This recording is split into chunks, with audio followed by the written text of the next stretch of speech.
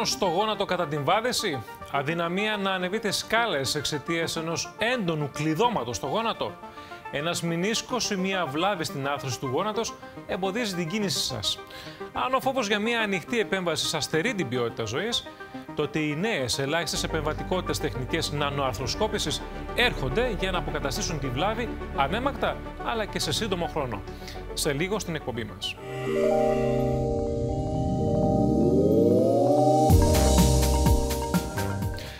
Φίλες και φίλοι, καλώς ήρθατε στην εκπομπή Ίασης. Μία από τις πιο σύνθετες αρθρώσεις του σώματός μας είναι το γόνατο. Οι βλάβες τις οποίες μπορεί να αντιμετωπίσει είναι γνωστές και βεβαίως μέχρι σήμερα αντιμετωπίζονταν με την κοινή σε όλους αρθροσκόπηση όταν πρόκειται βεβαίως για μια μικρή, μια μειωμένη βλάβη. Σήμερα λοιπόν η τεχνολογία όμως έρχεται στην ιατρική να δημιουργήσει μια επανάσταση και να μειώσει τον όγκο και το μέγεθος των εργαλείων εκείνων που μας επιτρέπουν να μπουν κατευθείαν στην καρδιά του προβλήματος και να το αντιμετωπίσουν με ακρίβεια, αποκαθιστώντας βέβαια την βλάβη στο γόνατο. Κοντά μας για τα θέματα αυτά έχουμε τον ε, χειρουργό ορθοπαιδικό δόκτωρα Βασίλη Σακελαρίου. Γιατρέ, καλώς ήρθατε. Ευχαριστώ πάρα πολύ για την πρόσκληση. Λοιπόν, ε, το γόνατο καταρχάς αποτελεί μία από τις πιο σύνθετες, όπως προανέφερα, αρθρώσεις και πολλοί είναι εκείνοι οι οποίοι παραπονιούνται ότι στο μέλλον, εάν δεν αντιμετωπίσουν το πρόβλημα, τότε υπάρχει η αρθρίτιδα η οποία τους χτυπάει σίγουρα την πόρτα. Σωστά. Η άρθρωση του γόνατος είναι μια ε, άρθρωση η οποία είναι από τις βασικές αρθρώσεις του ανθρωπίνου σώματος που πλήττονται από τέτοιες εκφυλιστικές αλλοιώσεις, αλλοιώσεις είτε εκφυλιστικές που έρχονται με το πέρας του χρόνου, είτε μετατραυματικές μετά από κάποιο τραυματισμό, συνήθως αθλητική κάκωση, αθλητικό τραυματισμό που έχει ε, έρθει από, σε μια εφηβική ή πρώιμη ενήλικο ζωή. Και βεβαίως υπάρχουν και τα ατυχήματα που μπορεί να προκύψουν. Αυτό ακριβώς. Υπάρχουν ατυχήματα του γόνατος, θλάσεις του γόνατος που μπορούν να προκαλέσουν μηνυσκικέ βλάβες, βλάβες συνδέσμου, συνδεσμικές βλάβες, ρήξη προστίου χιαστού, ρήξη έσω πλαγίου συνδέσμου ε, να προκαλέσουν χόνδρενες βλάβες, αποκολλήσεις δηλαδή, αποφλοιώσεις του αρθρικού χόνδρου, οι οποίες ε, αν αφαιθούν ε, μη θεραπευμένες, αθεράπευτες, τότε μετά από λίγα χρόνια μπορούν να καταλήξουν σε αυτό που λέμε μετατραυματική αρθροπάθεια, αρθρίτιδα του γόνατος. Να δούμε λοιπόν πώς είναι δομημένη η άρθρωση του γόνατος για να κατανοήσουμε και τις βλάβες που μπορεί να υποστεί. Σωστά. Εδώ λοιπόν βλέπουμε την άρθρωση του γόνατος, η οποία αποτελείται από τα λεγόμενα τρία διαμερίσματά της, δηλαδή το εσωτερικό διαμέρισμα, βρίσκεται στην εσωτερική πλευρά όπου αρθρώνεται το μυρός με την κνήμη. Όπως βλέπουμε τώρα αυτά τα οστά, να πούμε λοιπόν ότι. Το πάνω οστό είναι το μυριαίο, το κάτω οστό είναι η κνήμη και το μπροστά μικρό κοκαλάκι, το βάλ στρογγυλό κοκαλάκι, είναι η επιγονατίδα. Αυτά έχουν τρεις διαφορετικές αρθρικές επιφάνειες. Την άρθρωση του μυρού, με την κνήμη, η οποία έχει δύο διαμερίσματα, το έσω και το έξω. Και, αυτή είναι άρθρωση... βέβαια οι μυς και οι σύνδεσμοι που υπάρχουν γύρω από είναι την το... άρθρωση. Είναι ακριβώς ο φάκελος, ο λεγόμενος φάκελος των μαλακών μορίων, που αποτελείται από το θύλακο, ένα λεπτό ημένα που περιβάλλει όλο το γόνατο και ε, το μυϊκό σύστημα και το τενόντιο σύστημα που ε, τένοντες και μύες που καταλήγουν περιμετρικά γύρω από την ε, άρθρωση του γόνατος. Μία από τις πιο γνωστές όμως ε, βλάβες που μπορεί να πάθει το γόνατο, να υποστεί το γόνατο, είναι η λεγόμενη ρήξη μηνίσκου. Η ρήξη μηνίσκου μέχρι πρόσφατα ακούγαμε ότι γίνεται με αρθροσκόπηση και μάλιστα παρά το γεγονός ότι είναι μια ελάχιστη επεμβατική μέθοδος, δημιουργούσε προβλήματα στον ασθενή, ε, τουλάχιστον μετεχειρητικά. Χρόνο αποκατάστασης, χρόνο αποθεραπείας, ουλές. Κοιτάξτε, η ρήξη μηνίσκου αντιμετωπίζονταν και αντιμετωπίζεται ακόμα με, την, με μια σύγχρονη τεχνική που ονομάζεται αρθροσκόπηση του γόνατος. Το αρθροσκόπιο έχει εξελιχθεί ε, ιδιαίτερα με το πέρας των ετών. Είναι μια τεχνική που έχει έρθει στην καθημερινή πρακτική, την ορθοπαιδική πρακτική την τελευταία 20 ετία. Όμως έχουν δημιουργηθεί, έχουν προκύψει με την εξέλιξη της τεχνολογίας αρθροσκόπια τα οποία είναι νέας τεχνολογίας, πολύ υψηλής ανάλυσης με ανάλυση 4K, ε, και πολύ υψηλής αντοχής, με δυνατότητα να μπαίνουμε σε, όλα τα, σε όλους τους χώρους, σε όλα τα απόκρυφα σημεία του γόνατος και να μπορούμε να ανακαλύπτουμε, να αποκαλύπτουμε βλάβες που παλαιότερα δεν μπορούσαμε να τις δούμε με ακρίβεια. Μάλιστα. Η ρήξη του μηνίσκου ναι. ε, είναι μια συνηθισμένη κάκωση του γόνατος. Είναι γεγονός ότι με παλαιότερες τεχνικές όπου δεν μπορούσαμε δεν είχαμε τη δυνατότητα να προσεγγίζουμε σωστά το γόνατο ή και με τη φιλοσοφία την παλαιότερη, ότι βλέπαμε μια μεγάλη ρήξη του μηνίσκου και αποφασίζαμε αμέσως να κάνουμε μια γενναία ριζική ε, μηνισκεκτομή. Καταλάβαμε, αφαίρεση, λοιπόν, αφαίρεση του μηνίσκου. Ναι. Καταλάβαμε στην πορεία ότι η τεχνική αυτή, ε, ενώ ανακούφιζε προσωρινά από τον πόνο και λέγοντας προσωρινά εννοούμε άμεσα μεταχειρητικά και για, την, για τα επόμενα αρκετά χρόνια έναν αθλητή ή έναν νέο άνθρωπο που είχε αυτή τη βλάβη, βλέπαμε ότι σε βάθος χρόνου, σε βάθος μιας δεκαετίας, αυτό οδηγούσε λόγω της έλλειψης αυτού του μαξιλαριού που βρίσκεται ανάμεσα στο μυρό και στην κνήμη, ναι. οδηγούσε σε μια πρώιμη φθορά του αρθρικού χόνδρου και εξέλιξη αρθροπάθειας, αρθρίτιδας. Που σημαίνει εκτεταμένο και οξυπόνο, και οξυπόνο πρόβλημα στη βάθηση. Παραμόρφωση του γόνατος, γινόταν στραβό, σαν κάποιους αθλητές μπορεί να έχετε δει που έχουν πολύ στραβά γόνατα, συνήθως ποδοσφαιριστές. Ε, και δυσκολία στην κίνηση, δισκαμψία, ειδήματα. Άρα λοιπόν από ό,τι καταλαβαίνω η αρθροσκόπηση δεν ήταν μια επέμβαση και μια πανάκια για ένα πρόβλημα ρήξης μηνίσκου.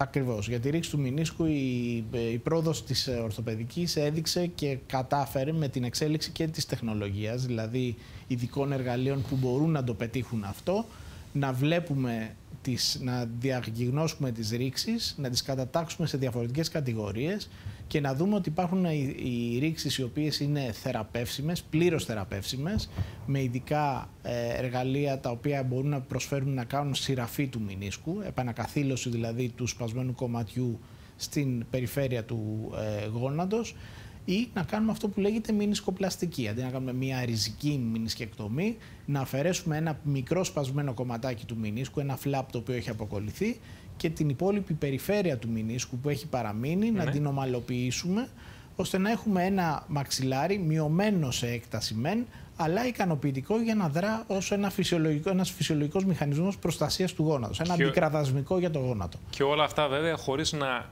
υποστούμε μια ανοιχτή επέμβαση με νηστέρι ή με οτιδήποτε άλλο. Σωστά. Που σημαίνει βεβαίως και τον κατάλληλο χρόνο Πλήρως αστροσκοπικά. Αυτό που έχει να προσφέρει είναι ανασκόπηση τώρα. Το ανασκόπιο είναι ένα σύγχρονο, υπερσύγχρονο εργαλείο ε, της σύγχρονης χειρουργικής. Ε, Τι ήρθε πολύ πρόσφατα στην, ε, στην Ελλάδα. Στην Ελλάδα υπάρχει μόνο ε, σε δύο κέντρα, ένα των οποίων είναι το δικό μας. Ε, υπάρχει το, το μεγάλο πλεονέκτημα της νανοαρθροσκόπησης είναι η πολύ μειωμένη διάμετρος του εργαλείου, του νανοσκοπίου.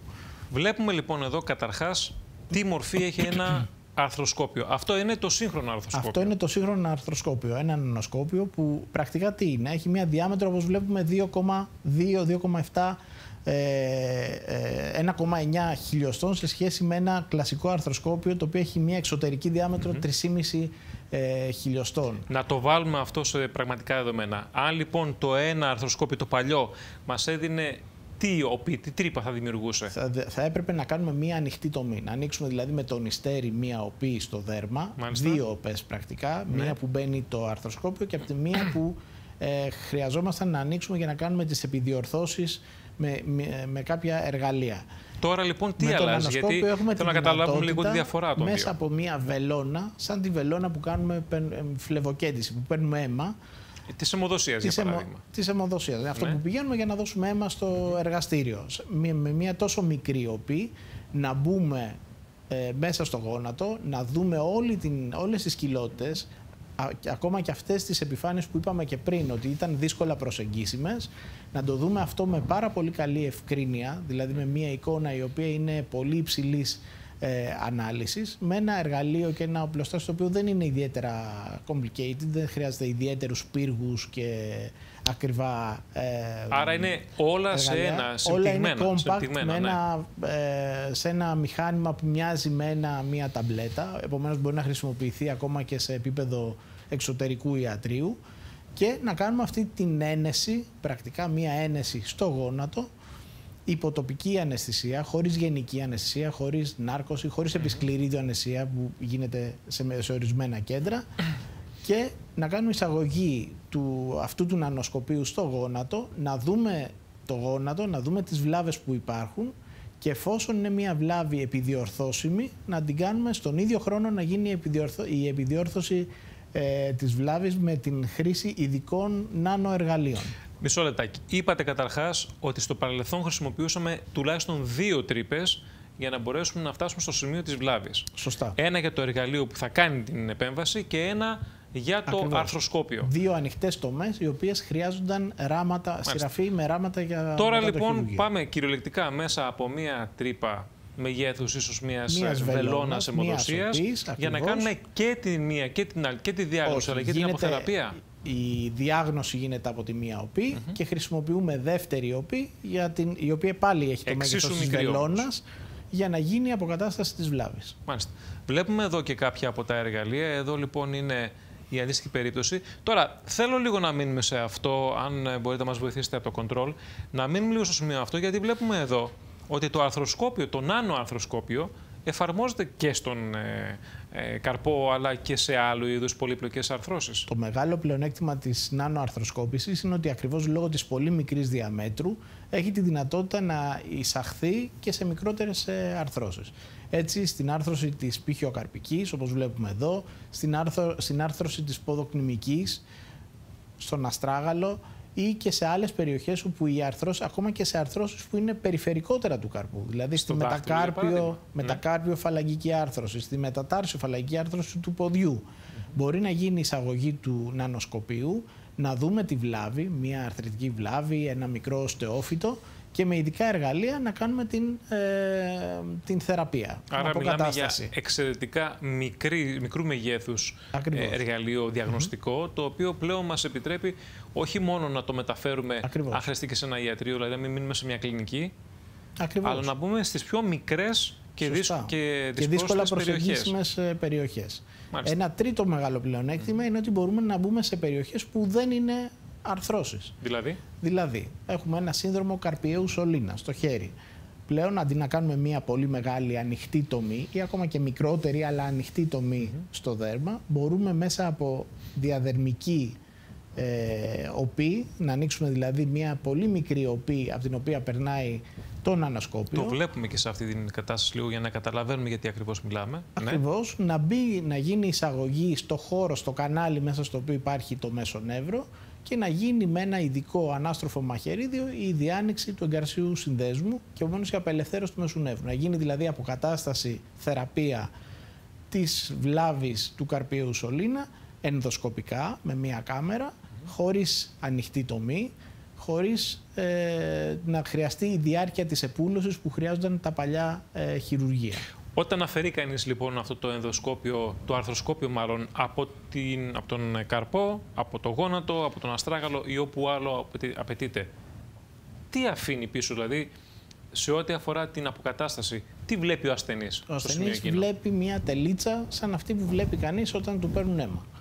Δηλαδή με ένα μια... χανσαπλάστ, μια γαζίτσα μπορεί να ένα χανσαπλάστ, καλύπτεται με αυτό το χανσαπλάστ για λίγες ημέρες και μετά έχουμε πλήρη επούλωση. Τόσο απλά. Τόσο απλά. Μάλιστα. Πολύ καλό μας το λέτε και πολύ αισιόδοξο όλο αυτό. Το θέμα είναι ότι ε, στην συγκεκριμένη νανοαρθροσκόπηση, γιατί κανείς πρέπει να την επιλέξει σε σχέση με την παλαιότερη αρθροσκόπηση; Δηλαδή, το πλεονέκτημα το ότι φτάνει στο σημείο αυτό από μόνο του είναι ε, και θεωρείται ας πούμε, χαρακτηριστικό για τη θεραπεία; Κοιτάξτε, η νανοαρθροσκόπηση έχει τα ίδια πλεονεκτήματα που έχει μια κλασική αρθροσκόπηση, επομένως μπορεί να εφαρμοστεί παντού όπου χρησιμοποιούσαμε το κλασικό αρθροσκόπιο, με το πλεονέκτημα πάντα της μικρότερης οπής, ουλής, ε, τραυματισμού, όπως θέλετε να το πείτε αυτό, και επομένως αντίστοιχα το μειωμένο πόνο με τα εγχειρητικά, λόγω του ότι έχουμε μικρότερο ιστικό τραύμα, έχει επιπλέον την δυνατότητα να το χρησιμοποιήσουμε σε περιοχές που δεν είναι εφικτό να προσεγγίσουμε, όπως είπαμε, με κλασικά αρθροσκόπια, όπως είναι η υποδοκνημική, η πιοκαρπική, οι αρθρώσεις οι μικρές ε, κλπ. Μπορούμε να το εισαγάγουμε σε περιοχές που δεν είναι αρθρώσεις, όπως είναι ο καρπιός σωλήνα, σωλήνας, ο, η περιοχή των τενόντων, ε, η περιοχή της λαγονοκρημιάς ταινίας, περιοχές δηλαδή όπου μπορεί, μπορεί, να δούμε παθολογία που αλλιώς θα χρειαζόταν να τη δούμε με μαγνητική τομογραφία, αλλά η μαγνητική προσφέρει μόνο διάγνωση, δεν μπορεί ταυτόχρονα να κάνει και θεραπεία, ενώ με τον ανααρθροσκόπιο μπορούμε Άρα ταυτόχρονα... Άρα και μικρότερο κόστος πρακτικά. Ακριβώς. Ενώ ταυτόχρονα με τον ανααρθροσκόπιο μπορούμε να επιτύχουμε και διάγνωση και στον ίδιο χρόνο και αποκατάσταση. Και το τελευταίο σε άτομα τα οποία για τους δικούς τους λόγους, είτε γιατί έχουν ένα βηματοδότη, είτε γιατί είναι ιδιαίτερα κλειστοφοβικοί, δεν μπορούν να μπουν σε ένα μαγνητικό τομογράφο και επομένως δεν μπορούν να έχουν τη διάγνωση που θα είχαμε με τη μαγνητική τομογραφία. Η αρθροσκόπηση στο παρελθόν όμως, ειδικά με τα εργαλεία του παρελθόντος, απαιτούσε και έναν συγκεκριμένο χώρο στον οποίο θα τοποθετηθεί το εργαλείο μέσα στην άρθρωση, ώστε να μπορέσουν να γίνουν οι ελιγμοί εκείνοι και να γίνει σωστά η ακριβής διάγνωση. Σήμερα αυτό απαιτείται με το νανοαρθροσκόπιο. Το νανοαρθροσκόπιο έχει το πλεονέκτημα ότι είναι μία εύκαμπτη βελόνα. Δηλαδή ακόμα και να μπει σε ένα πολύ στενό χώρο όπου χρειάζεται να αλλάξουμε κάπου πορεία, ε, μπορεί να επιτευχθεί γιατί είναι ακριβώς εύκαμπτο. Δεν λυγίζει, δεν, λυγίζει αλλά δεν σπάει.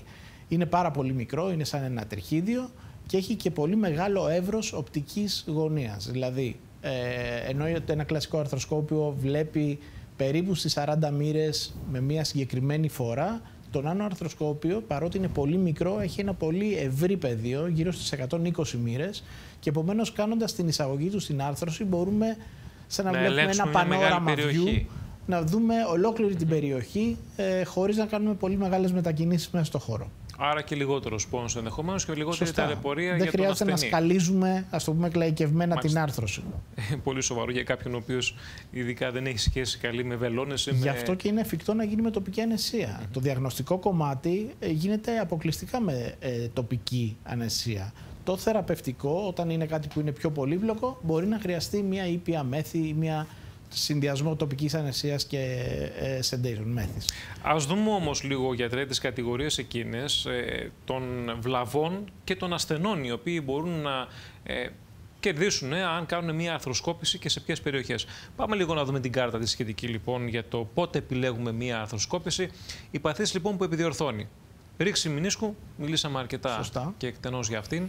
Συνδεσμικές βλάβες γόνατος, mm -hmm. του πρόσθετου συνδέσμου. Χόνδρινες βλάβες του γόνατος λύση συμφίσεων σε δίσκαμπτα γόνατα μετά από ολική αρθροπλαστική. Να μιλήσουμε λίγο για αυτό, να το κατανοήσουμε και αυτό λίγο είναι ένα ιδιαίτερο ενδιαφέρον. Γνωρίζουμε ότι το κλασικό αρθροσκόπιο δημιουργεί παρεμβολές, δημιουργεί αντικατοπτρισμούς μέσα στην άρθρωση. Επειδή έχουμε μια, ένα μεταλλικό εμφύτευμα, όταν μπαίνουμε με, την, με το κοινό αρθροσκόπιο, βλέπουμε μια περιοχή που μοιάζει με καθρέφτη. Οπότε δεν μπορούμε να δούμε καθόλου μέσα ανάκλαση, στην λοιπόν. Κάνει έχουμε. ανάκλαση. Ε, με το νάνο αρθροσκόπιο, επειδή είναι πολύ λεπτό, μπορούμε να μπούμε από διαφορετικές πύλες εισόδου. Δηλαδή, Άλλη αντί να χρησιμοποιήσουμε mm. τις κλασικές δύο πύλες εισόδου που είναι μπροστά στην πρώτη επιφάνεια του γόνατος, μπορούμε να κάνουμε εισαγωγή από την πάνω επιφάνεια του γόνατος, από πλάγια από το γόνατο και να διευκολύνουμε την όραση και την οπτική μας από διαφορετικές περιοχές εκμεταλλευόμενοι το μικρό του μέγεθος χωρίς να έχουμε την, την αρνητική επίπτωση αυτής της ανάκλασης που κάνει ε, το μεταλλικό εμφύτευμα. Και Αυτό όμως γιατρέ είναι κάτι το οποίο αφορά εσάς, γιατρό. Τον ασθενή, ο ασθενής, μάλλον γιατί πρέπει να ενδιαφερθεί για αυτό το πράγμα; Τι ο κερδίζει; Ο ασθενής οδηγείται σε μια τέτοια επέμβαση ή παρέμβαση ή διάγνωση όταν έχει ήδη κάποιο πρόβλημα. Δεν έρχεται χωρίς πρόβλημα να, για να το λύσουμε. Ε, ο συγκεκριμένος ασθενής, η συγκεκριμένη περίπτωση που αναφέραμε, είναι ασθενείς που έχουν υποβληθεί σε ολική αρθροπλαστική του γόνατος, η οποία μετεγχειρητικά ε, για κάποιους λόγους ανέπτυξε συμφίσεις, δημιουργήθηκε ένα δίσκαμπτο γόνατο, δηλαδή ένα γόνατο που δεν τεντώνει σωστά, δεν λυγίζει σωστά ή και τα δύο και μπορούμε με τον ανοαρθροσκόπιο να μπούμε μέσα στην άρθρωση, να δούμε και λειτουργικά το γόνατο, δηλαδή την ώρα που έχουμε μέσα την κάμερα να κάνουμε λίγισμα, τέντομα του γόνατος, να δούμε ποια είναι τα σημεία στα οποία έχει αναπτυχθεί κάποιος ουλώδης ιστός ή για ποιο λόγο το γόνατο δεν μπορεί να τεντώσει τελείως. Τι βρίσκει, τι είναι αυτό που μπλοκάρει το γόνατο και ταυτόχρονα να κάνουμε τη θεραπευτική μας προσέγγιση. Μάλιστα. Πάμε λοιπόν να δούμε και την επόμενη κάρτα. Έκπληση και καθαρισμός γόνατος σε περιπτώσεις φλεγμονών. Και αυτό ναι. είναι ένα πολύ σημαντικό. Είναι γόνατα κομμάτι. που είτε μετεγχειρητικά είτε γιατί έχει μεταδοθεί μια λίμωξη από μια άλλη περιοχή του σώματος. Υπάρχει κάποια αιματογενής διασπορά λίμωξης από άλλη περιοχή. Μπορεί ένα αιμάτωμα δηλαδή. Χοντρικά. Μπορεί να έχει γίνει, όχι, γίνεται ένα πίαρθρο. Γεμα, γεμίζει το γόνατο με πίον ή γεμίζει το γόνατο με ένα, με ένα φλεγμονώδες υγρό. Μάλιστα. Τότε μπορούμε να, κάνουμε, να μπούμε με τον ανοαρθροσκόπιο, όπως και το κλασικό αρθροσκόπιο, να δούμε την, ε, τη βλάβη, να δούμε ότι όντως έχει σχηματιστεί, ότι υπάρχει πίον, υπάρχει υγρό το οποίο είναι παθολογικό και εν συνεχεία με ένα μηχάνημα έκπλησης να κάνουμε την έκπληξη του γόνατος. Αντιμετώπιση ενδαρθρικών καταγμάτων και αυτό έχει πολύ ιδιαίτερο ενδιαφέρον. Να μείνουμε λοιπόν σε αυτό λίγο. Ναι. Ιδιαίτερο ενδιαφέρον για την ανάπτυξη της μετατραυματική αρθροπάθειας του γόνατος. Κατάγματα τα οποία είναι κατάγματα του πέριξ του γόνατος, τα οποία είναι ενδοαρθρικά, πρέπει να αποκατασταθούν με απόλυτη ακρίβεια, με, με ακρίβεια χιλιοστού. Αν έχει μετά το χειρουργείο του κατάγματος, έχουμε αφήσει ένα σκαλοπατάκι που είναι πάνω από ένα χιλιοστό, δηλαδή αυτό, ναι, ναι. έχει βουλιάξει ο χόνδρος σε ε, βάθος πάνω από ένα χιλιοστό, τότε η πρόγνωση είναι ιδιαίτερα αρνητική. Μέσα στα επόμενα 4-5 χρόνια ο ασθενής θα αρχίσει να έχει ειδήματα, φουσκώματα στο γόνατο, έντονο πόνο, εκδήλωση αρθρίτιδας. Είναι πολύ σημαντικό. Για ένα χιλιοστό.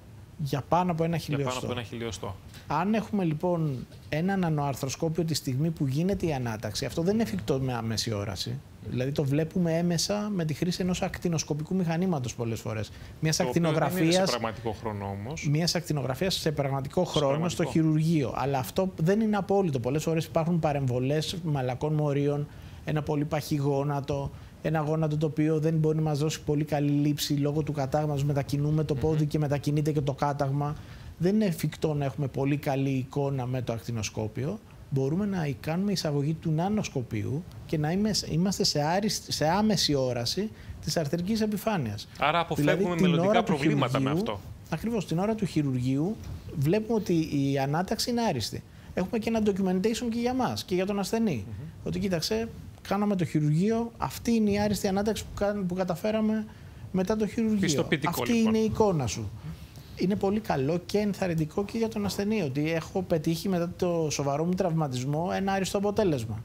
Οπότε και υπάρχει βεβαίως και εμπιστοσύνη απέναντι στον γιατρό. Και ξέρω τι να περιμένω. Ή έχω ένα χόνδρινο έλλειμμα που δεν μπορούσε να αποκατασταθεί. Βλέπουμε μια λακκούβα, μια αποκόλληση, μια αποφλίωση ενός χόνδρινου ελλείμματος, το οποίο είχε καταστραφεί κατά τη διάρκεια του χειρουργείου. Πρέπει να το γνωρίζει ο ασθενής ότι κοίταξε, εγώ στο έφερα στο χιλιοστό μεν, αλλά υπάρχει μια λακκούβα εκεί του χόνδρου και αναμένεται ότι σε λίγα χρόνια θα υπάρχει αυτό το πρόβλημα. Σημαντικό Είναι λοιπόν το κομμάτι σημαντικό. αυτό ακριβώς για να μπορούμε να ελέγχουμε την κατάσταση της ε, βλάβης, από ό,τι αντιλαμβάνομαι. Ε, στον ανοαρθροσκόπιο όμως, θέλω να μας πείτε λίγο ποιοι είναι εκείνοι οι, οι άνθρωποι, οι ασθενείς μάλλον, που ωφελούνται περισσότερο. Πάμε λοιπόν στην επόμενη κάρτα που έχουμε ετοιμάσει. Οι αθλητές Βεβαίως αναμενόμενο αυτό από τις πολλές βλάβες που μπορεί να υποστούν. Νομίζω ότι παιδιά και έφηβοι. για τους αθλητές και για τους αθλητίατρους, νομίζω ότι είναι ένα εργαλείο που πρέπει να είναι πλέον στην, στην τσάντα του κάθε γιατρού που είναι σε, ε, ασχολείται καθημερινά με αθλητές, με αθλητικές κακώσεις. Ε, Στα παιδιά και στους εφήβους είναι μια άλλη ειδική περίπτωση. Τραυματίζεται ένας επαγγελματίας ασθενής, ε, αθλητής. Μέχρι τώρα τι κάναμε, κατευθείαν μαγνητική τομογραφία. Ένα κόστος που σε επίγουσα βάση σε ένα ιδιωτικό νοσοκομείο μπορεί να στοιχίζει 800-900 ευρώ. Με τη χρήση του νανοσκοπίου βάζεις τη βελόνα, βλέπεις ρήξη προς του χιαστού. Κατευθείαν. Μάλιστα. Εκεί βέβαια είναι ένα άλλο κομμάτι. Παίζει ή δεν παίζει; Αυτό είναι ένα σημαντικό κομμάτι για αυτούς οι οποίοι βεβαίως εξαρτώνται από αυτό και μάλιστα μπορεί να είναι και ε, λόγος βιοπορισμού όταν μιλάμε για έναν επαγγελματία αθλητή. Βέβαια. Και έχει άμεση σωστή διάγνωση με μικρότερο κόστος. Παράλληλα και αποκατάσταση. Αποκατάσταση θα γίνει σε δεύτερο χρόνο. Μπορεί όμως το επίπεδο του αγώνα ή αμέσως μία ώρα μετά τον αγώνα να ξέρει ο προπονητής ότι αυτός ο αθλητής μεθαύριο δεν μπορεί να παίξει. Μάλιστα. Οπότε μας δίνει μια καλή πρόβλεψη για το μέλλον. Ακριβώς και σε πολύ γρήγορο χρόνο. Παιδιά και έφευγε λοιπόν ε, ένα, μια κατηγορία από αυτές οι οποίες ε, εποφελούνται, αλλά θέλω να μείνουμε λίγο στο παρακάτω, στο άτομα με στενές αρθρώσεις. Ναι, αυτό, εκεί εμπίπτουν και τα παιδιά που έχουν μικρές αρθρώσεις και όλες, όλοι οι ασθενείς οι οποίοι έχουν σφιχτές έτσι είναι διαμορφωμένες οι αρθρώσεις. Είναι πολύ δύσκολος, λοιπόν. σωματότυπος είναι δύσκολο να γίνει εισαγωγή ενός κλασικού αρθροσκοπίου. Mm Ή οι μικρές αρθρώσεις που είπαμε και προηγούμενα. Και βέβαια ασθενείς που δεν μπορούν να υποβληθούν σε μαγνητική τομογραφία, δώστε μας έτσι ένα χαρακτηριστικό παράδειγμα. το χαρακτηριστικό είναι άτομα που έχουν ε, κάποιο μηχάνημα πάνω στο σώμα τους που παρεμβάλλεται, που δεν λειτουργεί σωστά αν παρεμβληθούν, ε, μπουν σε ένα μαγνητικό πεδίο, σε ένα ισχυρό μαγνητικό πεδίο. Το κλασικό είναι άτομα που έχουν βηματοδότη. Υπάρχει λύση σε αυτό. Μέχρι τώρα έπρεπε να επικοινωνήσουν με τον καρδιολόγο τους, να κάνουν διακοπή της λειτουργίας του βηματοδότη, και να κάνουν τη μαγνητική, μετά να ξαναμπούν με τον καρδιολόγο να κάνουν επανενεργοποίηση του βηματοδότη. Μια Αυτό είναι μια διαδικασία πολύ πολύπλοκη. Ή άτομα που έχουν κλειστοφοβία. Είναι ένα πολύ μεγάλο ποσοστό ασθενών. Περίπου στο 15 με 20% των ασθενών που συνταγογραφούμε έναν, ε, μια μαγνητική τομογραφία έρχονται πίσω και λένε ότι ήταν, ήταν η χειρότερη εμπειρία της ζωής τους το να κάνουν μια μαγνητική τομογραφία ή εγκατέλειψαν την ε, διαδικασία στη μέση. Ναι. Βγήκαν από το μαγνητικό τομογράφο. Λοιπόν, πάμε να δούμε όμως συγκεντρωτικά, αφού μιλήσαμε για την νανοαθροσκόπηση και τα πλεονεκτήματά της. Σωστά. Ταχύτητα. Ανώδυνη και ελάχιστα επεμβατική. Μιλήσαμε προηγουμένως για μια οπή, μια τρύπα, να το πούμε μια έτσι. Τρύπα, μια βελονιά. Μια βελόνα. Λίγο είναι, πιο χοντρή, η βελόνα αιμοδοσίας. Είναι στα δύο χιλιοστά. Μάλιστα. Άριστη αποκατάσταση, διαγνωστικό χειρουργικό εργαλείο ταυτόχρονα. Εγώ νομίζω ότι από όλα αυτά τα οποία νωρίτερα μιλήσαμε, αυτό ίσως είναι το πιο κυρίαρχο Σωστά. πλεονέκτημα. Το μεγάλο διαφορό διαγνωστικό, ε, αυτό που το κάνει να αλλάζει τα δεδομένα στην ορθοπαιδική του νανοσκοπίου σε σχέση με παλαιότερες προσπάθειες να, να έχουμε μικρότερα αρθροσκόπια, είναι ότι είναι το μοναδικό που μας δίνει τη δυνατότητα στον ίδιο χρόνο να κάνουμε διάγνωση και να κάνουμε και θεραπεία. Γιατί δεν είναι μόνο η κάμερα που είναι λεπτή, είναι ότι έχουμε τη δυνατότητα να βάλουμε, να εισαγάγουμε στην άρθρωση, οποιαδήποτε άρθρωση, και νάνο εργαλεία. Εργαλεία που συνοδεύουν το νάνο αρθροσκόπιο. Είναι λοιπόν μια φαρέτρα εργαλείων. Ακριβώς, που, που είναι ίδια με τα αρθροσκοπικά εργαλεία που χρησιμοποιούμε σε μια αρθροσκόπηση, κλασική αρθροσκόπηση, με τη διαφορά αντί να έχουν διάμετρο πάνω από 4 χιλιοστά, έχουν μια διάμετρο 2 χιλιοστών. Είναι το μισό εύρος των εργαλείων. Είναι πολύ σημαντικό. Άρα κυριολεκτικά μιλάμε για δύο τσιμπηματάκια πρακτικά. Ακριβώς. Αυτό καταλαβαίνω. Ακριβώς. Χωρίς γενική αναισθησία. Άρα λοιπόν, όταν κανείς θα έρθει να κάνει μια αρθροσκόπηση, εκεί τοπικά τι θα του κάνετε; Τοπική αναισθησία. Σαν αυτό που κάνουμε για να κάνουμε μια, στα παιδάκια να κάνουμε μια μολυψία, που βάζουμε ένα τοπικό, μια αληφή τοπικού αναισθητικού, ή στους ενήλικες που χρειάζεται να κάνουμε μια πιο εντοβάθη ένεση, που κάνουμε πρώτα προηγείται μια τοπική αναισθησία. Αυτή η αναισθησία λίγο ένεση, σαν αυτή που κάνει ο δοντίατρος. Μάλιστα, αλλά το θέμα είναι αυτή γίνεται επιφανειακά, επιφανειακά. ή και πιο μέσα. Γιατί γίνεται στο ο ασθενής δηλαδή καταλαβαίνει την ώρα που του γίνεται η, αρθροσκόπηση. Ο ασθενής καταλαβαίνει, ε, ένα, έχει ένα αίσθημα αφής του δέρματος. Δεν έχει πόνο. Κατανοητό. Να πάμε νιώθει στην την επόμενη. πίεση, δεν νιώθει τον πόνο σημαντικό αυτό. Είναι ένα ε, από τα Επίσης, βασικά. μπορεί να συμμετέχει, συμπτώματα. είναι ξύπνιος. Μπορεί να του πεις λίγησε το γόνατο, τέντωσε το γόνατο ή γίνα τον νόμο δεξιά, την κεφαλή του βραχιονίου δεξιά, γίνα τον νόμο αριστερά και να βοηθάει την ώρα του, του, της ε, νανοαρθροσκόπησης ώστε να δούμε όλη την περιφέρεια τη, της άρθρωσης. Τη λειτουργία της άρθρωσης, μάλιστα. Χωρίς τομές και ουλές, το τονίσαμε αυτό, ακρίβεια Άρα πάτε ακριβώς εκεί που υπάρχει το πρόβλημα, στην καρδιά του προβλήματος. Ακριβώς. Mm -hmm. Φορητότητα συσκευής σε επίπεδο ιατρίου. Θέλω να σας θέσω το ερώτημα λοιπόν. Μπορεί να πάει ας πούμε, ο ορθοπαιδικός γιατρός ακόμη και σε ένα σπίτι, εφόσον το μέγεθος είναι τόσο μικρό μπορεί του εργαλείου. Γίνει. Μπορεί να γίνει και αυτό σε άτομα που είναι δύσκολο να μετακινηθούν. Ένας κατάκητος άνθρωπος. Ένας κατάκητος που έπεσε από μια κοπέλα στο κρεβάτι και έχει ξαφνικά μια παραμόρφωση του γόνατος και δεν μπορεί για κάποιο λόγο να, να προσεγγιστεί από ένα απλό ακτινοσκοπικό μηχάνημα ή πρέπει να το δει κάποιος έχει κάνει ένα οξυέμαρθρο. Μπορούμε να κάνουμε στο ίδιο το σπίτι, να μπούμε, να κάνουμε με τοπική αναισθησία και φυσικά φυσική, καλή αντισηψία. Προφανώς. Να ε, κάνουμε παρακέντηση του γόνατος και να δούμε τι ακριβώς έχει συμβεί. Άρα αυτό σημαίνει ότι δεν χρειάζεται να μετακινηθεί ο ασθενής για διάγνωση. Σωστά θεραπεία προβλέπεται μέσα από αυτή τη διαδικασία ή όχι; Εξαρτάται από τη διάγνωση. Δηλαδή, ένας ασθενής που έχει πέσει και έχει κάνει ένα κάταγμα δεν μπορεί να το αντιμετωπίσει και το αν κάταγμα είναι... την ώρα του που είσαι στο σπίτι. Αν είναι όμως ένας καθαρισμός ή αν είναι, αν είναι μια, μικρή, μια ένα μπλοκάρισμα, ναι. Αν έχει παρεκτοπιστεί ο μηνίσκο και έχει μπλοκάρει το γόνατό του, υπάρχει εργαλειάκι που μπορεί να το επαναφέρει στη θέση του και να γίνει και σειραφή στον ίδιο χρόνο. Μάλιστα. Βεβαίως, λαμβάνοντας όλες τις κατάλληλες συνθήκες αντισηψία και ασφάλειας. Και βέβαια μεγαλύτερη προσβασιμότητα σε πιο σύνθετες αρθρώσεις. Αναφερθήκαμε προηγουμένως στον ε, Αστράγαλο αλλά και, και στον Καρπιαίο Σολίνα. Και χώρους που δεν είναι άρθρωση. Τώρα, αφού λοιπόν κλείσαμε το θέμα της αρθροσκόπησης, γιατί αποτελεί ένα σημαντικό ζήτημα, το θέμα είναι όταν η βλάβη είναι πολύ μεγάλη και πλέον πρέπει να προχωρήσουμε σε μια ολική αποκατάσταση, ολική αρθοπλαστική του γόνατος. Εκεί τα πράγματα γίνονται πολύ πιο πολύπλοκα και σίγουρα πολύ πιο επώδυνα. Όχι τόσο επώδυνα πλέον. Πλέον. το ερώτημα είναι, η βλάβη αυτή η οποία δημιουργείται σε ένα γόνατο και επειδή έχουμε ακούσει και για πολλά μηχανήματα που πολλές φορές μπορεί να υποκαταστήσουν εν μέρη το ρόλο του γιατρού. Σήμερα λοιπόν μιλάμε για τι μηχανήματα που ουσιαστικά αποτελούν βοηθό του γιατρού και δεν τον υποκαθιστούν. Κοιτάξτε, η επανάσταση της τελευταίας πενταετίας, δεκαετίας, να το πούμε έτσι, τελευταία δεκαετία θα έλεγα, στο χώρο της ε, ορθοπαιδικής και ως βοηθή στο καλό αποτέλεσμα για την αντιμετώπιση ενός προβλήματος αρθρίτιδας του γόνατος, είναι η ρομποτική τεχνολογία. Όλος ο κόσμος πλέον παίρνει ένα τηλέφωνο και λέει: Θέλω να μου κάνεις το γόνατο, να κάνω μια επέμβαση αρθροπλαστικής ρομποτικά. Συνεπώς, γιατρέ, όταν μιλάμε λοιπόν για ρομποτικά μηχανήματα, τα οποία βοηθούν τον γιατρό να φέρει εις πέρας μια ολική αρθροπλαστική του γόνατος, ποιο είναι εκείνο το χαρακτηριστικό πλεονέκτημα που θα πρέπει να διακρίνουμε ε, ενός νέου μηχανήματος, για παράδειγμα ε, εκείνο που θα μας βοηθήσει να φτάσουμε στο ποθετό αποτέλεσμα με ακρίβεια σε σχέση με τα προηγούμενα. Τι αλλάζει σήμερα; Κοιτάξτε, είναι γεγονός ότι ο κόσμος είναι συγκεχημένος. Ε, σε σχέση με το τι είναι ρομποτικό μηχάνημα, θέλει οπωσδήποτε να είναι μια επέμβαση ρομποτική. Όλοι ρωτούν και ενδιαφέρονται να κάνουν ένα χειρουργείο ρομποτικά. Θα πρέπει να γνωρίζουν ή να εμπιστεύονται το γιατρό τους σε αυτό που γίνεται, ότι όλα τα μηχανήματα τα ρομποτικά δεν είναι ίδια. Τι είναι εκείνο δεν είναι το ίδια. οποίο είναι χαρακτηριστικό όμως, Υπάρχουν γιατί ακούμε για διαφορετικές- υποβοήθηση, ακούμε Ακριβώς. για ε, μηχανήματα με μοχλούς και με βραχίονες που γίνονται Σωστά. εξ αποστάσεως.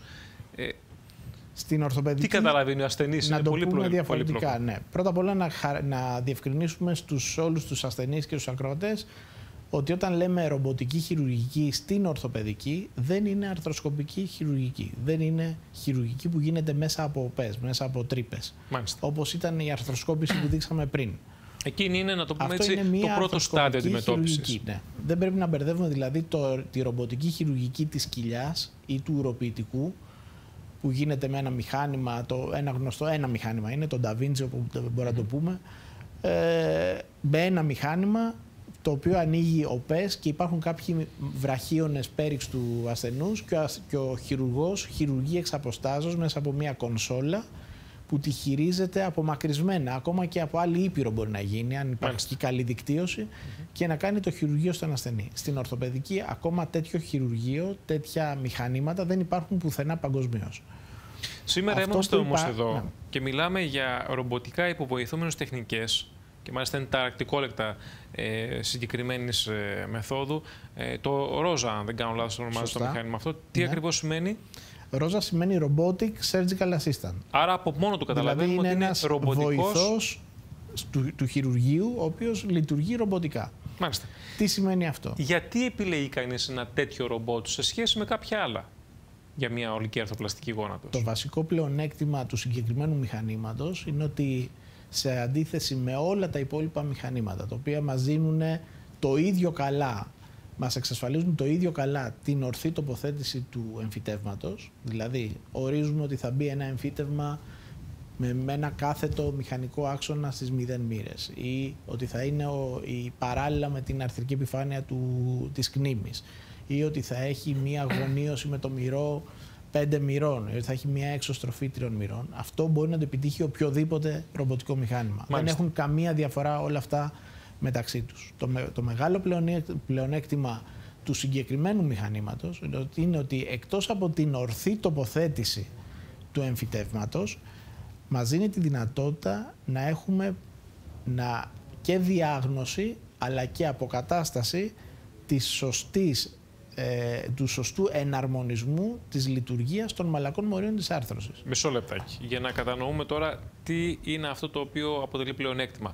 Πάμε λίγο πρώτα απ' όλα να δούμε το μηχάνημα πώς λειτουργεί σε μια κατάσταση όπου θα πρέπει να γίνει η ολική αρθροπλαστική αντικατάσταση Σωστά. της ε, Πρώτα άρθρωσης απ' του όλα γόνατος. το μηχάνημα αυτό είναι ένα ρομποτικό μηχάνημα. Είναι ένα- Μάλιστα. ένας ρομποτικός βραχίωνας. Είναι Γιατί υπάρχουν και βοηθός, πολλά- δεν, είναι, δεν υποκαθιστά το γιατρό. Σωστά. Ωραία. Ε, είναι ένα ρομποτικό μηχάνημα όμως, γιατί υπάρχουν πάρα πολλά ρομποτικά μηχανήματα που υπάρχουν στην αγορά και λέγονται ρομποτικά, τα οποία είναι ένα απλό σύστημα πλοήγησης, ένα απλό navigation. Μάλιστα. Εδώ αυτό λοιπόν είναι ένα αυτό μηχάνημα φέρει... το οποίο φέρει ένα ρομποτικό βραχίωνα, δηλαδή ορίζουμε κάποιες συντεταγμένες, οι οποίες είναι αυτές που δείχνει το επίπεδο, το μπλε επίπεδο, Ναι. και έχουμε το μηχάνημα το οποίο με απόλυτη ακρίβεια έρχεται, προσεγγίζει το γόνατο και δεν μας αφήνει να αποκλίνουμε ούτε χιλιοστό από αυτό. Ενώ νωρίτερα όμως έχει Ακόμα και αν προηγηθεί κάποια μετακινήσουμε, μελέτη πάνω στο γόνατο του Σωστά. ασθενή. Θα, το, θα εξηγήσουμε μετά Ναι. τι μελέτη είναι αυτή. Και βλέπουμε το μεγάλο πλεονέκτημα ότι ακόμα και αν μετακινείται το γόνατο, ο βοηθός μας του χειρουργείου κατά λάθος μας κουντάει, μας, με- μας Ε, φυσιολογικά μετακινεί, πράγματα που φυσιολογικά μπορούν να συμβούν, πράγματα. βεβαίως, ναι. Ακόμα και αν μετακινηθεί το γόνατο, το ρομποτικό μηχάνημα ακολουθεί την κίνηση του γόνατος. Άρα, Ό,τι και να κάνουμε δεν μπορεί να πάει λειτουργεί πουθενά. παράλληλα, λοιπόν, έχεις σημείο αναφοράς. Λειτουργεί ακριβώς. Έχει συντεταγμένες που όπου και να πάμε εμείς θέλουμε να βλέπουμε την κνήμη προς τα δω. Θα έρθει προς τα δω και το κοπτικό μηχάνημα και θα μας βοηθήσει να κάνουμε την οστοτομία μας εκεί. Συγχωρεί λοιπόν ένα λάθος της στιγμής, όχι του γιατρού, μια, μια μετακίνηση που μπορεί Συγχ... να έχει προκύψει. Μας αφήνει, μας βοηθάει, δεν θα έλεγα συγχωρεί λάθη, mm -hmm. μας βοηθάει να κάνουμε τη δουλειά μας όπου εμείς θέλουμε, όπου μας αρέσει. Μάλιστα. Δηλαδή, εμένα με διευκολύνει να βλέπω το γόνατο δεξιά, δεξιόστροφα. Θα έρθει όλο το ρομποτικό μηχάνημα δεξιόστροφα. Με διευκολύνει να πάω πιο αριστερά, πιο κάτω. Θα ακολουθήσει Κατανοητό. αντίστοιχα. Ωραία. Το μεγάλο Βλέπουμε... πλεονέκτημα ναι. δεν είναι αυτό όμως. Το μεγάλο πλεονέκτημα είναι ότι αφού έχουν γίνει οι πρώτες.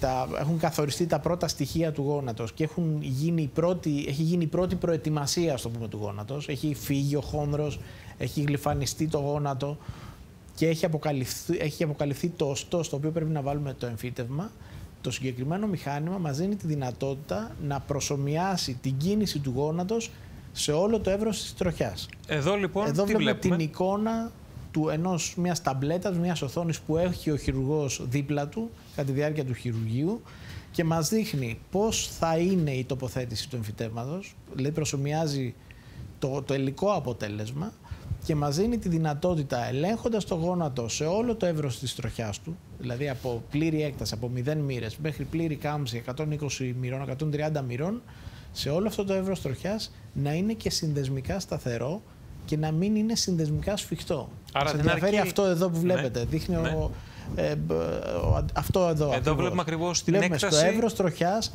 πόσο αφήν, μας αφήνει να πηγαίνουμε προς τα μέσα και προς τα έξω το γόνατο. Οπότε το αυτό θα μας βοηθήσει σε τι μετά; Το γόνατο μας δεν είναι μεντεσές. Βάζουμε δύο καρφιά και κινείται πάνω σε αυτή την τροχιά. Αν ήταν έτσι τα πράγματα θα ήταν πολύ Ακριβώς. διαφορετικά. Πρέπει να έχει και ένα επίπεδο ελευθερίας για να μπορεί να κινείται αρμονικά και να μπορεί να μην ε, το αισθάνεται ο ασθενής μας σαν ένα σφιχτό πράγμα, σαν ένα σφιχτό γόνατο μεταγχειρητικά.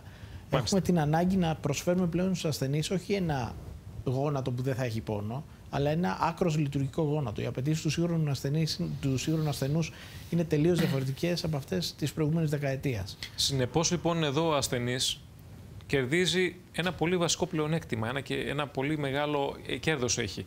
Ότι δεν αρκεί μόνο να του βάλουμε μια καινούργια άρθρωση την οποία θα πατάει σταθερά και θα στέκεται, Ακριβώς. αλλά θα μπορεί να έχει ένα απόλυτα λειτουργικό γόνατο. Ακριβώς. Η μεγάλη διαφοροποίηση αυτού του μηχανήματος είναι ότι σε αντίθεση με το παρελθόν, που είχαμε και άλλα αντίστοιχα μηχανήματα navigation, πλοήγησης, δεν έχουμε μόνο ένα σωστά τοποθετημένο εμφύτευμα, μια ακτινογραφία στατική που λέμε Α, τι ωραία τοποθετήθηκε. Αλλά ένα ασθενή που λέει γιατρέ μου, όταν πάω να το λυγίσω, κάτι με σφίγγει εδώ δεξιά ή μου ανοίγει το γόνατο όταν πάω να κατέβω ένα σκα, ε, σκαλοπάτι, δεν το νιώθω Χάνει σταθερό. τον έλεγχο ενδεχομένως. Ναι, δεν μου φεύγει το γόνατο.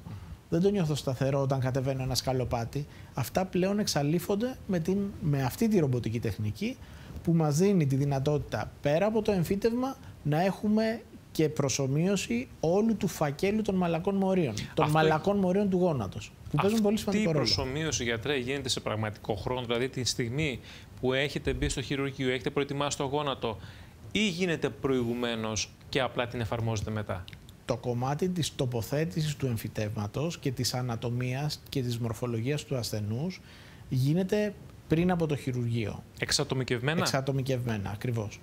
Δηλαδή, ο κάθε ασθενής, όπως καταλαβαίνετε, κάθε άνθρωπος έχει διαφορετική ανατομία και διαφορετικό πρόβλημα στο γόνατό του. Βγάζουμε ειδικές ακτινογραφίες πρώτου χειρουργείου, οι οποίες αποστέλλονται στο εξωτερικό. Γίνεται μια έγκριση, επιβεβαίωση του σχεδιασμού που έχουμε κάνει εμείς μέσω ενός προγράμματος του ρομποτικού μηχανήματος. Γίνεται μια επαλήθευση από το μηχάνημα, το οποίο μετά κατεβαίνει και μέσω ενός USB μπαίνει μέσα στο ε, ρομποτικό μηχάνημα την ώρα του χειρουργείου. Άρα παίρνει όλα τα δεδομένα. Έχουμε όλα τα μορφολογικά δεδομένα του ασθενούς. Την ώρα του χειρουργείου έχουμε τη δυνατότητα πρώτον να επιβεβαιώσουμε τη μορφολογία. Δηλαδή έχουμε έναν δείκτη που ακουμπάει σε διάφορα σημεία του γόνατος, της κνήμης και του μυρού που μας επιβεβαιώνει ότι ναι, το γόνατο αυτό έχει εδώ μια οστική προεξοχή. Όντως είναι στραβό κατά 15 μοίρες. Έχει μια στροφή τριών μοιρών. Το ένα είναι η επιβεβαίωση της μορφολογίας. Το δεύτερο είναι ότι μας αφήνει να κάνουμε ένα judgment των, των, των μαλακών μορίων. Μια ρύθμιση. Μια ρύθμιση να κάνουμε πρώτα απ' όλα μια κλινική εκτίμηση σωστή μέσω ειδικών ε, σενσόρων που έχει το μηχάνημα. αισθητήρων που έχει το μηχάνημα. Να δούμε πόσο τζόγο έχει, να το πούμε κλαϊκευμένα, το γόνατο σε όλες τις κλήσεις, σε όλο το, σε όλο το εύρος κίνησης.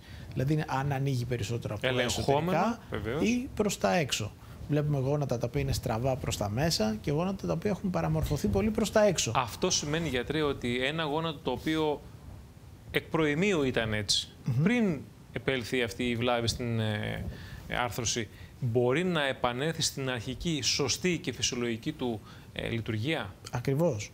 Και το μεγάλο πλεονέκτημα είναι ότι εκτός από μια απλή ακτινογραφία που είναι άριστη, που αυτό το επιτυχάνει το οποιοδήποτε μηχάνημα, το οποιοδήποτε ρομποτικό μηχάνημα, εδώ έχουμε τη δυνατότητα να δούμε και το κλινικό αποτέλεσμα, τη λειτουργικότητα του ασθενούς. Ένα γόνατο το οποίο είναι πολύ βλεσό, που στρίβει πολύ προς τα έξω. ναι, ναι, στρίβει πάρα πολύ προς τα έξω. Σημαίνει ότι έχει χαλαρώσει πολύ το έσω, ο έσω πλάγιος σύνδεσμος και έχει ρικνωθεί, έχει μαζέψει ο έξω πλάγιο σύνδεσμος. Άρα όλα Αν αυτά βάλουμε σωστά εμείς το γόνατο, σωστά, ναι. αλλά δεν έχουμε συνυπολογίσει ότι ο έσω πλάγιο σύνδεσμος είναι πολύ χαλαρός, τότε θα έχουμε πάλι μια πρόθεση ωραία τοποθετημένη, αλλά μη λειτουργική θα έχουμε Μάλιστα. ένα γόνατο το οποίο θα φεύγει. Επομένως... Εδώ έρχεται το μηχάνημα και μας, δείχνει, μας λέει ότι κοίταξε, πρέπει να βάλεις λίγο διαφορετικά το εμφυτευμά σου. Όχι έτσι όπως είναι η γενική θεώρηση ότι πρέπει να το βάλουμε σε αυτή τη στροφή.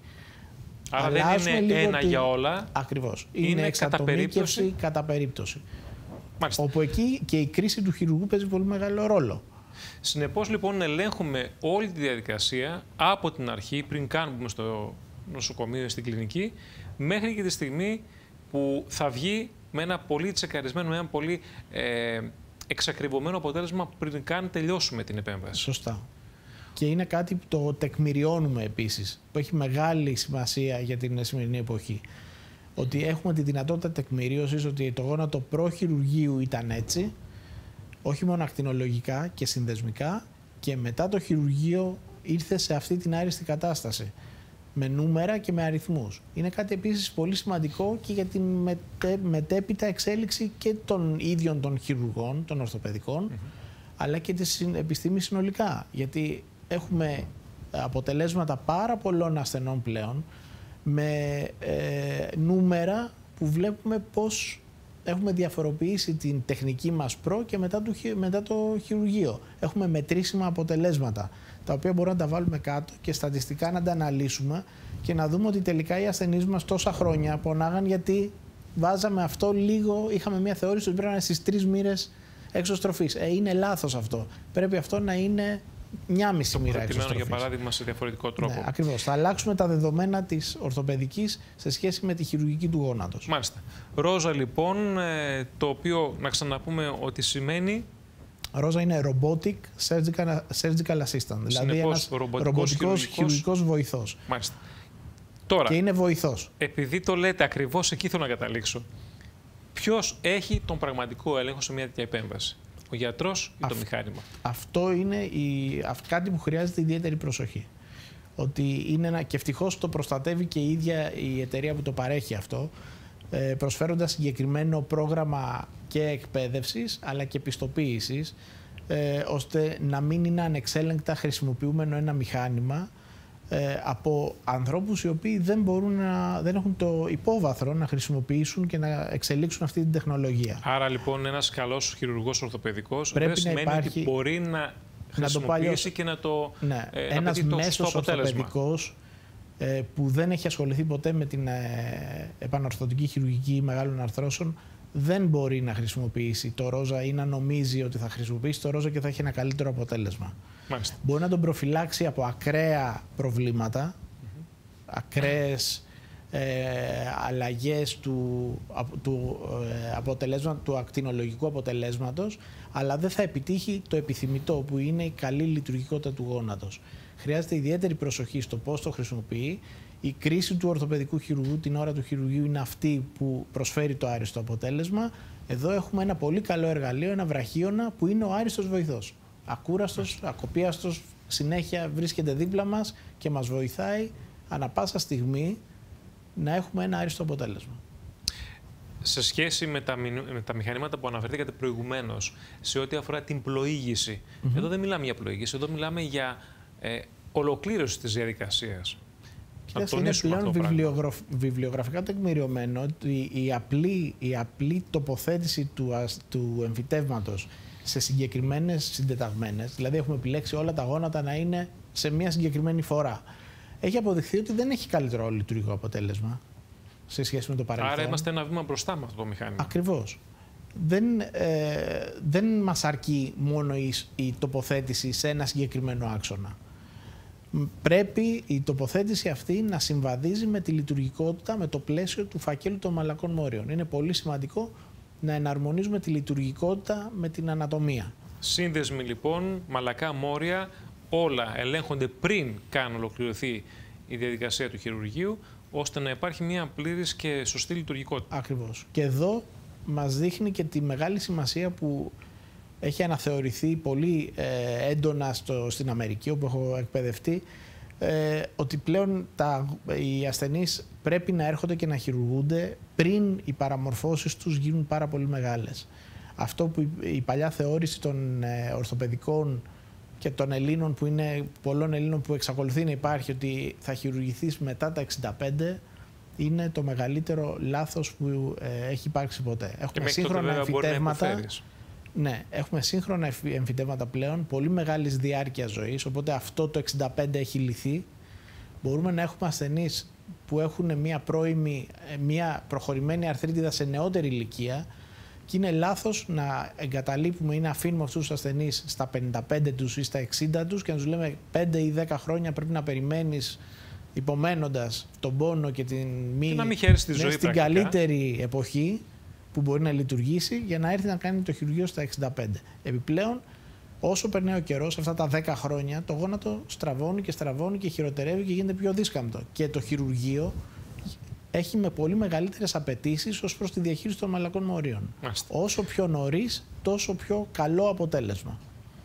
Γιατρέ, νομίζω ότι σήμερα ήταν μια ειδική περίπτωση που μάθαμε Καταρχάς, τα ευχάριστα δεν χρειάζεται να ανοίξουμε μια μεγάλη τρύπα στο γόνατο για να κάνουμε μια αρθροσκόπηση παρά μόνο στο μέγεθος μιας καρφίτσας, βελόνας πιο συγκεκριμένα, αιμοδοσίας, να είμαστε σαφείς, αλλά και για κάτι το οποίο μας δίνει μια πλήρη και λειτουργική άρθρωση όταν κάνουμε μια ολική αρθροπλαστική στο γόνατο.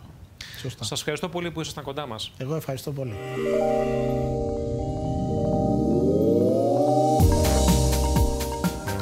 Η λειτουργικότητα μιας άρθρωση όπως του γόνατος είναι ζήτημα καθημερινότητας αλλά και ποιότητας ζωής του ασθενούς. Η σύγχρονη ιατρική τεχνολογία έρχεται να βοηθήσει στην αποκατάσταση της βλάβης με ελάχιστες συνέπειες, πόνο αλλά και άμεση επιστροφή στην καθημερινότητα. Ευχαριστούμε που μείνατε κοντά μας.